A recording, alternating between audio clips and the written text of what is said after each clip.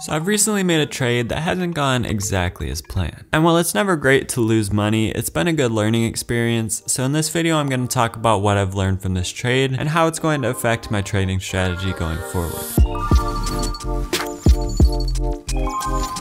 So the trade that I'm going to talk about today is a poor man's covered call on Netflix. And as the title of this video implies, I'm currently down about $18,000 on that trade. So let me catch you up to speed on how we got to this point. So if you saw my October 2021 trades I'm making video, you know that I had previously been selling poor man's covered calls on Tesla, and I ended up making a total profit of about $16,000 from those trades. But when Tesla stock rose to over $1,200 per share, it started to get a bit too risky for my taste, so I decided to look for a different stock to sell poor man's covered calls on. However, by that point, I had become accustomed, you may even say addicted, to the high premiums that a volatile stock like Tesla provided, so I knew that I wanted to trade something similar. And what I decided on was Netflix, because it's a company that I really like and believe in for the long term. And despite its high valuation at the time, it wasn't as highly valued as Tesla was, so I figured it would be a relatively safer bet. Not to mention that it met all of my criteria, meaning that it was upward trending on both a short term and a long term basis, and it showed very solid revenue growth quarter over quarter and year over year. Plus, it was trading around $665 per share, so I could save a bit of money by setting up a trade on Netflix rather than Tesla. So Netflix was the choice, and to set up the poor man's covered call, here's what I did.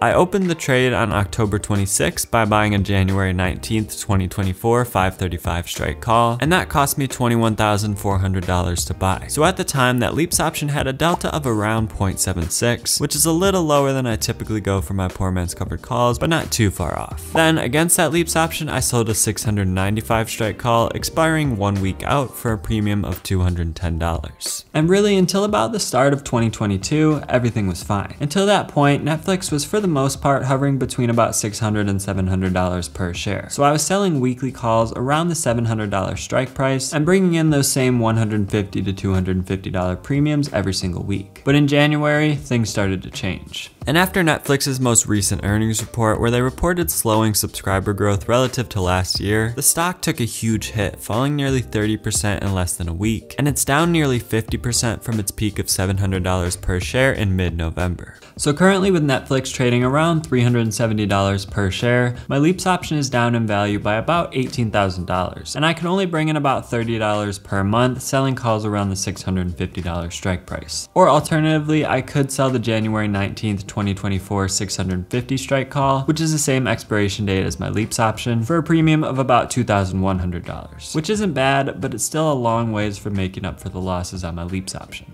But with that said, since Netflix did perform reasonably well for the first few months of this trade, I collected a total of $1,454 worth of premium. And considering how far the stock has actually fallen, those current premiums aren't extremely terrible. But still, if I were to sell the January 2024 650 strike call for that premium of $2,100, and Netflix stock doesn't move at all from now until then, I would still be down on this trade by nearly $18,000 overall. So it would really only make sense to hold on to this trade if I expect Netflix stock to rise pretty significantly from now until January 2024. But before we get to my thoughts on that and what I plan to do with this trade going forward, let's talk about what I've learned from this trade so far and what I would do differently if I could do it all over again. Because I know many of you may be in similar situations with some of your trades. So basically the main thing I've learned is that this trade was far too risky to begin with. It's one thing to set up a poor man's covered call, which is riskier than a traditional covered call, although it can be useful in certain situations. But it's an entirely different thing to set it up on a stock like Netflix, which has a history of pretty extreme volatility, even though it is a very solid company.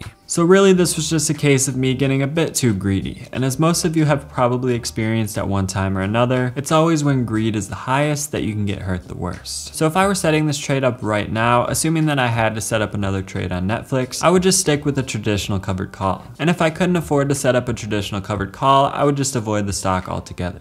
Because when you're selling traditional covered calls, if the stock drops by say 30%, your position also drops by 30%. Whereas when you own a leaps option, as you would with a poor man's covered call, that option will fall in value much quicker than the underlying stock. In my case, as Netflix stock has fallen by about 45% since I opened the trade, my leaps option has fallen by about 85%. So while the poor man's covered call can be useful in order to sell calls against more expensive stocks, the trade should be reserved for more expensive stocks that are very stable. Preferably stocks in the Dow Jones Industrial Average that pay a dividend like Apple, Microsoft, and Nike. Stocks like that aren't going to fall 45% within a short period of time, or at least it's extremely unlikely that they will. But given that I'm already in this trade and the damage has been done, what's my plan from here? Well, I'll start by saying that I still do really like Netflix stock, and personally I think the magnitude of the sell-off was pretty unwarranted. The company is showing very strong revenue growth even as we're coming out of the pandemic, not to mention that it's becoming more and more profitable. So of course that, in combination with the falling stock price, have brought it to a much more reasonable valuation. So yes, subscriber growth has slowed, but that was completely expected. I mean, there's only a limited number of people out there, so the number of subscribers can't grow exponentially forever. But with that said, there is still a lot of room for growth, especially outside of the US. The streaming industry definitely isn't going anywhere. It's actually continuing to grow, and I think that Netflix is by far the strongest player. And Joseph Carlson recently did a poll on his YouTube channel asking people if they could only pick one streaming service, which one would it be? And out of over 18,000 responses,